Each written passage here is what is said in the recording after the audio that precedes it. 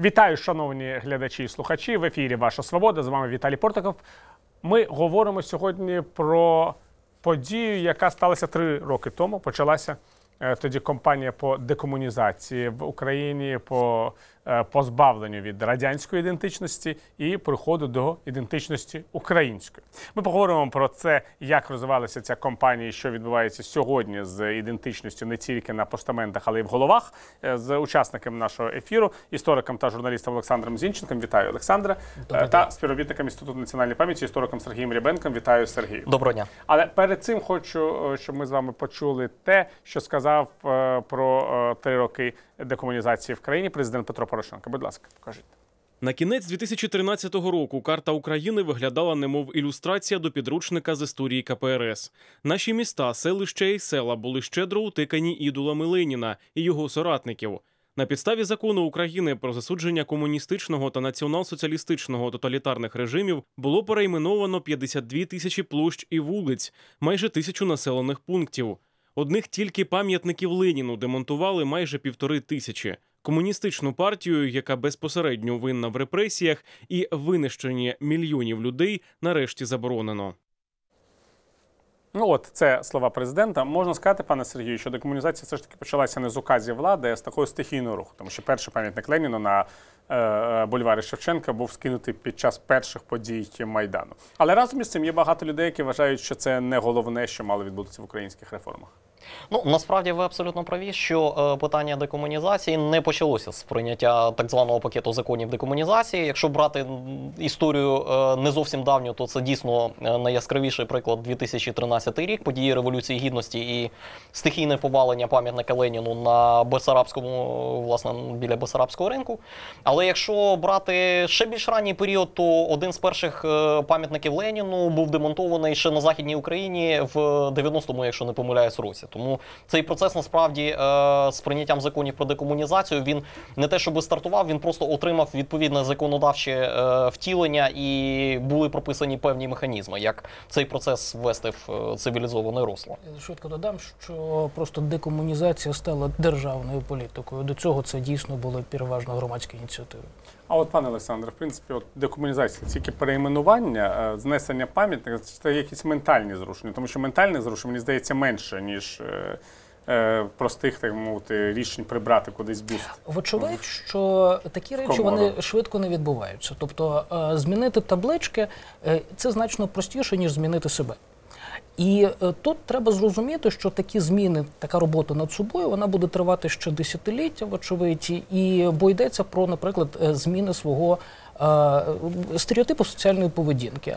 Уявлень про світ. Ну, наприклад, е, лише 20% українців за дослідженнями соціологічними е, відповідають на питання, від чого залеж- залежить е, ваше життя. Вони відповідають е, від нас самих. Тобто це тільки 20%.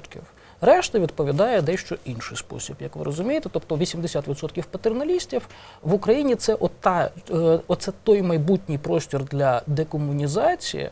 Е, Для цих людей треба усвідомити, що їхнє життя залежить від них самих.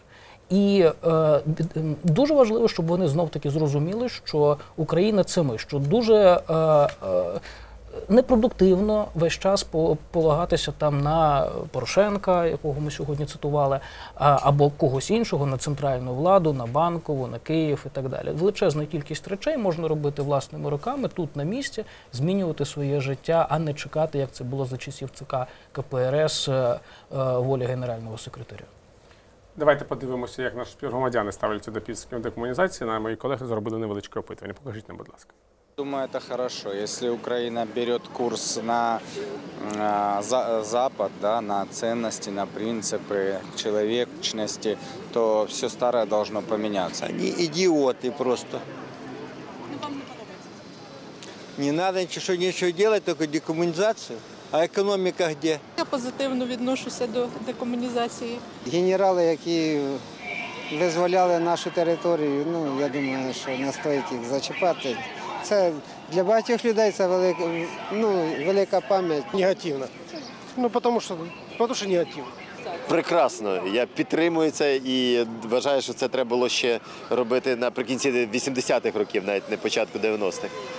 От, і тоді ми б мали зовсім іншу державу. Ну, от такі різні думки. І тут виникає величезне питання, знаєте яке? Наскільки взагалі українці погоджуються е, з е, розумінням свого статусу до 1991 року як статусу колоніального, але не як статусу будівничих імперій. Це дуже важлива річ. Ким все ж таки українці були? А, Власне, Самі якраз, для себе. якраз минулого тижня був у Херсоні, і там якраз ми про це говорили. Бо якраз південь України це е, та частина України, де найбільш жива оця імперська постімперська спадщина. Тобто частина, наприклад, засновницького міфу багатьох е, міст е, півдня, і Одеси, і Херсона, і Миколаєва. Це е, ясна річ, це історія 18 століття. Ну, принаймні, вони пам'ятають 18 століття і значно менше пам'ятають е, те, що було перед тим або після того. І ми якраз про це дуже багато говорили з е, дівчатами і хлопцями з Херсону. От як переосмислити е, себе в е, цій історії? Це дійсно величезна проблема, що е, багато людей, от активістів, сприймають імперський дискурс як щось страшенно зле.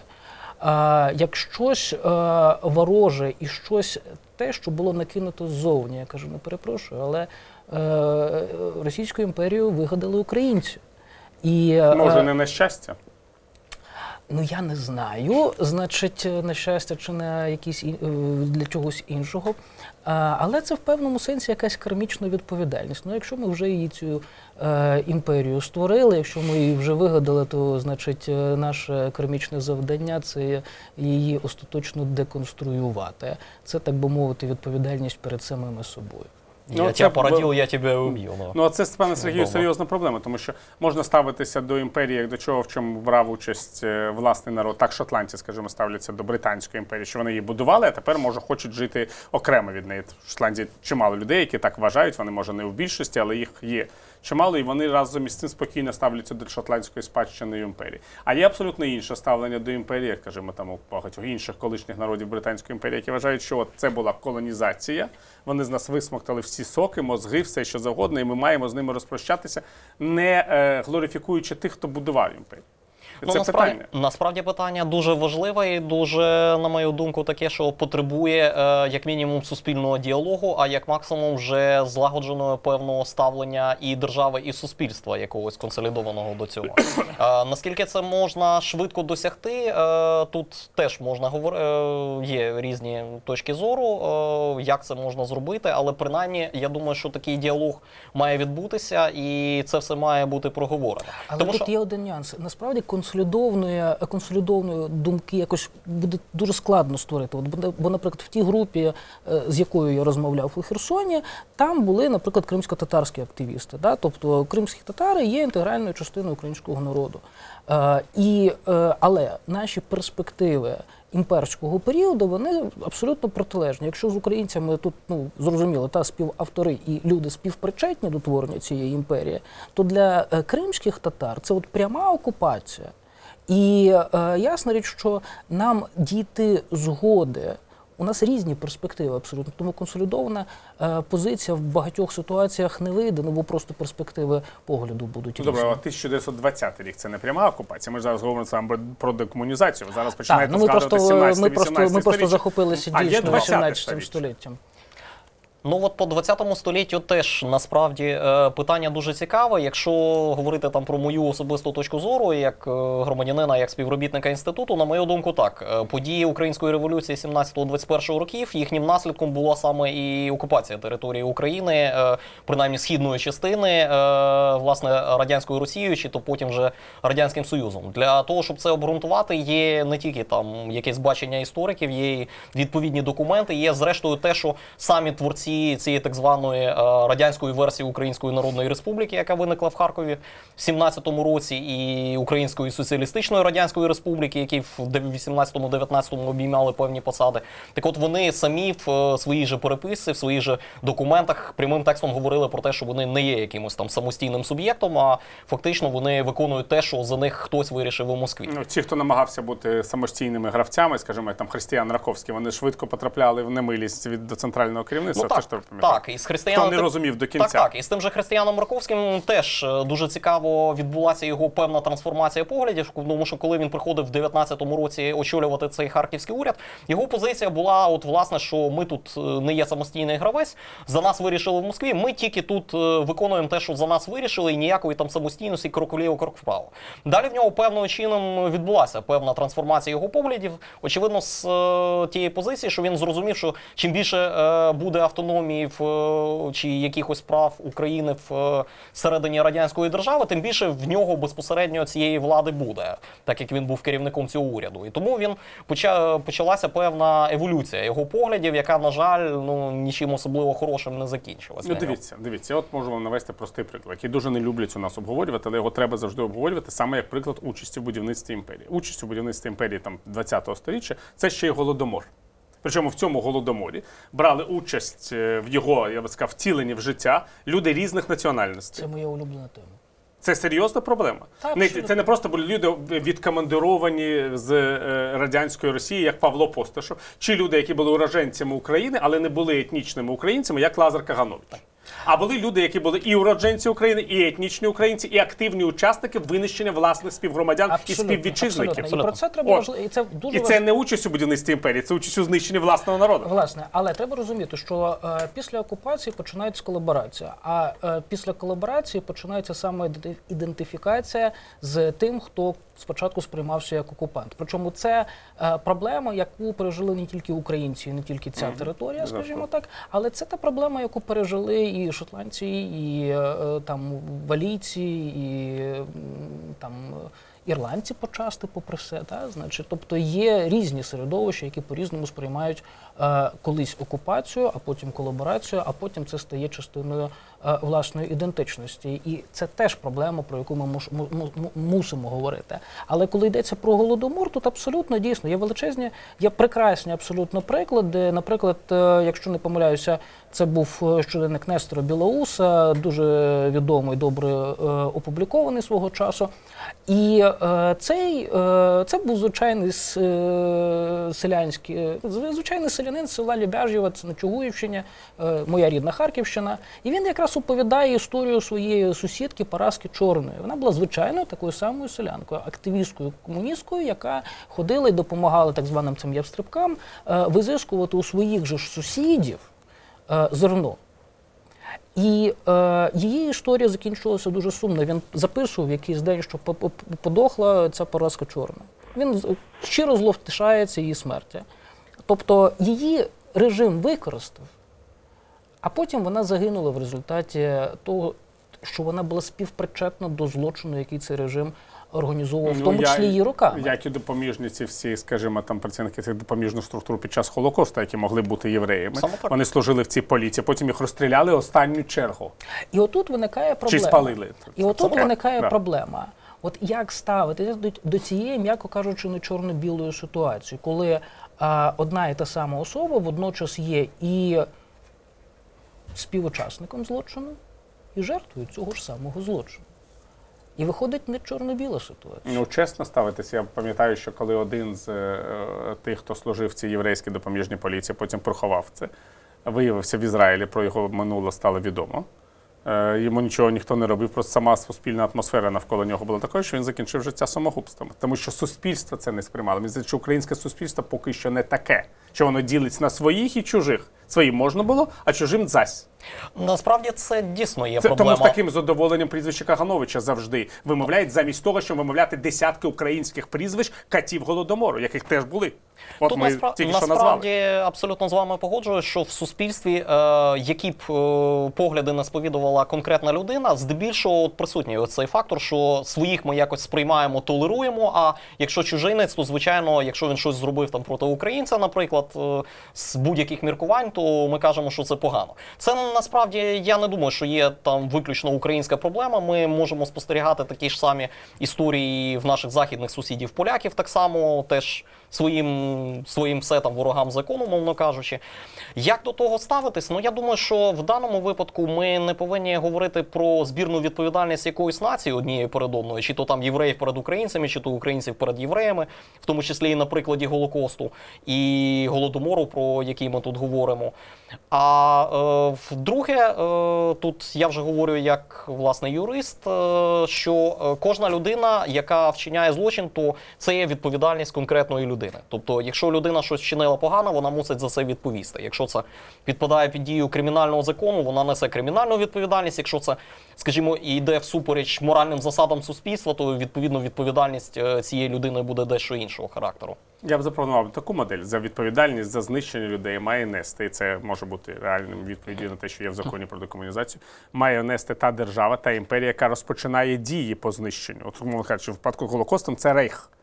Саме присутність рейху на цих всіх територіях призвела до Голокосту і до участі колабораціоністів в Голокості. Не було б військ рейху, не було б цього б винищення людей. Вони створили умови. Ну насправді тут е, і норми міжнародного Так. права саме так і говорять, І що так, держава-окупант, держава, яка анексувала територію, вона і несе відповідальність за все те, що відбувається на відповідній території. Але юридична вже відповідальність, ну звичайно, державу там складно якось засудити, посадити в е, буцегарню. Тут е, юридична відповідальність вже безпосередньо конкретного організатора чи то виконавця від е, імені ну, цієї я що держави. з Голодомором це теж радянська держава. Так. От до чого я веду, пане, коли ви кажете, що ми що українці брали участь у будівництві радянської держави, це не просто будівництво імперії в 20 столітті, це будівництво участь в будівництві держави, що винищувало українців. І це не може сприйматися як такі дуже позитивні Так, дії. вочевидь, але е, це якраз. е, Ну, історія вона не вчителька, вона наглядачка, вона лупить по пальцях, коли люди не вивчили уроки. Та? Тобто е, українці весь час повторюють е, невивчені уроки і весь час отримують по руках. Від Ну, ну ясно, що маршала Кожедуба і Власа Чубаря різна історична роль. Ми це навіть Мені навголодюємо. не- да. трошки Да. не про це йдеться. Да. Мені, мені йдеться про те, що українці дуже мало думають про наслідок своїх, наприклад, е, маленьких, е, не зовсім хороших кроків, да, умовно кажучи. Ми можемо згадати там 2010 рік. Е, Голосування на виборах між двома популістами да, президентських. І вибрали 12,5 мільйонів українців вибрали те, що вибрали. Да, в результаті отримали замість стабільності війну. Ну, це ж вибір дво- 12,5 мільйонів українців. Тобто, чи вони усвідомили свою співвідповідальність за результати свого вибору в 2010 році? Я не впевнений. Я впевнений, що ні. І оце якраз є той урок е, історії, коли ми знову в результаті, якщо ми не навчимося передбачати свої кроки, нерозумні кроки, ну тоді будемо знову отримувати по пальцях від е, наглядачки історії. Як, в принципі, от е, далі просувати цю декомунізаційну кампанію, пане Сергію? Вона закінчена вважає? Ну, е, дивлячись, що ми розуміємо під декомунізацією. Тому що, е, якщо говорити про сприйняття в суспільстві, то це дійсно сприйняття здебільшого обмежується тим, що ми перейменували вулицю, поміняли табличку, там знесли десь, демонтували Леніна на вулиці і вирішили, що так, все, декомунізація завершена.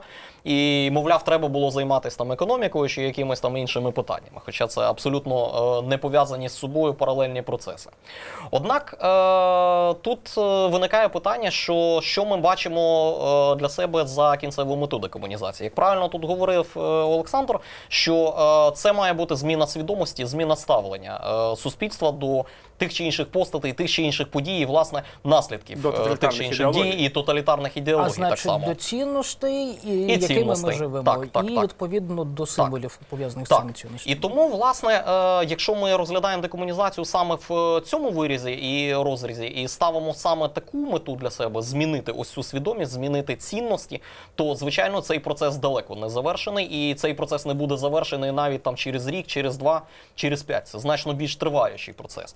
Можу навіть сказати, що от е, зараз, буквально в цьому році, ми зробили ще один дуже важливий крок, який формально, начебто, і не зовсім пов'язаний з е, тим процесом, який суспільство вважає декомунізацією. Але насправді цей е, процес він е, має своїм корі- своє коріння коріння якраз в тому радянському минулому і в тих цінностях, які були за існування тоталітарного режиму. Мова йде власне про реабілітацію жертв цього режиму. Тобто зараз Верховна Рада зробила нарешті той давно очікуваний крок, який від неї 26 років е, очікувало суспільство. Це зробило достатньо ґрунтовні зміни в закон про реабілітацію. Тобто е, ті люди, які в принципі постраждали від цього режиму, і які мали б бути, яким мало би бути повернуто їхнє добре ім'я, і держава Україна, яка їх не засуджувала, мала би нарешті сказати, що ці люди для неї не є злочинцями, тому що вона їх не засуджувала, і тому що їхні дії не були злочинами. За е, радянських часів чи навіть за перших років незалежності України вони не могли бути реабілітовані просто в силу того, що такий був е, на той момент закон. Зараз е, Верховна Рада це зробила, і зараз е, оцей процес нарешті отримав друге дихання. Тому е, це теж дуже важливий, е, на мою думку, крок. І власне, коли держава привселюдно через рішення відповідної комісії скаже, що та чи інша людина, яка е, щось робила, чи навіть боролася за незалежність України від е, радянського союзу, що вона не є злочинцем, це теж е, справить дуже велике враження. Я думаю, і на сприйняття суспільством і тих подій, і тих конкретних людей. Чи не стане небезпекою те, що середньостатистичний українець просто е, в своєму мисленні замінить Леніна на постаменті ну, умовним Бандерою, а не навчиться критичному ставленню до власної історії? Я сподіваюся, що е, Бандера точно не стане. Немає, на- хай це не буде Бандера. Отже, е, е, ясно, що йдеться не про не, не про персоналі, йдеться про те, що відбуваються зміни. Мені було е, дуже цікаво знов таки подивитися от на символічному рівні, як в різних населених пунктах що змінювалося, які назви змінювалися на які е, на які назви. От е, в мене бабуся мешкала на жовтневій вулиці в Пісочині, це під Харковом. Е, і е, жовтневу вулицю, от як би ви думали, можна було переіменувати логічно, так би мовити. Не квітневу. На квітневу, наприклад. А в Пісочині пішли трошки веселіше, вони зробили з жовтневою Покровську. А поруч йшла вулиця Надії Крупської. Як перейменувати вулицю Надії Крупської? Не слухайте, це фантазія можна будь-якої. Вони зробили це фантастично красиво. Вони зробили вулиця Надії. Тобто просто Просто Крупська- надії. Просто Тобто Крупська Крупська відпала, е, Крупська зникла, а залиш- а лишилася надія, яка помирає останньою. Я думаю, оце от від, відображає в певному сенсі на символічному ряді, що люди все ж таки намагаються мислити не через дуже нестандартно, дуже часто. А може просто вони не не мають якогось о, о, о, умовно оперця в історії, вони не знайшли щось значуще для власного села. А, ні, якщо йдеться про е, ми ж просто там намагалися аналізувати результати цих 52 тисяч перейменувань населених е, в населених пунктах вулиці е, і у всіх цих урбанонімів, топонімів, та значить, і насправді дуже цікаво, що є компонента. е, Обов'язково, коли люди починають, вони знають своїх місцевих локальних героїв, і вони знаходять ці імена, і вони дискутуються. І, наприклад, тут, якщо брати більше місто, Харків, моє рідне місто. Там, наприклад, е, в нас е, був такий було таке перехрестя, називалося 50 на 50. 50 років СРСР, 50 років ВЛКСМ. Да? Значить, е, е, Це так, це красиво. Значить, ну це народний фольклор, ясна річ. І от е, 50 років СРСР проспект був переіменований на е, честь Лева Ландау. Ну, в цьому є логіка, що я дивуюся, що не було в Харкові навіть вулиці академіка Ландау, ну це фантастика, те, що в Харкові не було вулиці Лева Ландау. Тепер є проспект цілий. Або, наприклад, е, от у маршала Жукова був проспект в Харкові, вони паралельно між іншим ідуть. А, Петра Григоренка. От, ну, тобто в Харкові Петро Григоренко. Це для мене було несподівано, хоча Григоренко певний зв'язок з Харковом мав. Тобто знаходять е, вулицю Алчевських, вулиця е, е, Багалія, тобто знаходять якихось локальних героїв, які викликають не так відторгнення, як навпаки гордість. О, нарешті в нас з'явилася вулиця такої славетної людини, чого в стільки років її не було, питається. Тобто, насправді мені видається, що от ті зміни, які я бачу. Е, Наприклад, в моєму рідному місті вони радше позитивні. Там, звичайно, теж є курйози, мовні курйози, коли вулиця Совнаркомовська була перейменована на вулиця Жон Міроносець. Ну, це отак от і написано, да? при тому, що поруч паралельно йде Мироносицька. Ну, тобто, от перехрестя Мироносицької і вулицю Жор- Жон Мироносець, це тепер е, об'єктивна дань. 50 на 50. Так, це тепер 50 на 50, е, е, ну, тобто якийсь Е, такий... В в кернесівському варіанті. можна Абсолютно да. вірно. І е, от якісь такі курйози, звичайно, вони трапляються. В кожному місті таке трапляється. Але е, коли дивишся загалом, коли там утворюються цілі ансамблі, коли от була вулиця Наталії Ужвій, а поруч з'явилася Амбросія Бучми, а поруч з'явилася там і просто весь. Театр Березіль з'являється На в картці Харкова. та це дуже Ну, красиво. Це дуже красиві, красиві переконливі приклади. Я знову кажу, що я думаю, що те, що ми з вами зробили ви- висновок, що ці три роки це просто початок насправді набагато більш складної, тяжкої роботи по переосмисленню людьми не тільки власної історії, а саме власної ідентичності і ставлення до історії. Це і має стати підсумком всієї цієї діяльності, яка почалася, е, можна сказати, ще взимку 2014 року, коли громадяни тут позбулися першого такого е, першого Леніна України, який стояв напо- напроти Бесарабського головного центрального Леніна. Напроти Б- Бесарабського року. Дякую Олександру Зінченко та Сергію Рябенко за участь в нашій сьогоднішній програмі, яку провів для вас Віталій Портников. Дякую вам, шановні слухачі і глядачі. Хай щастить!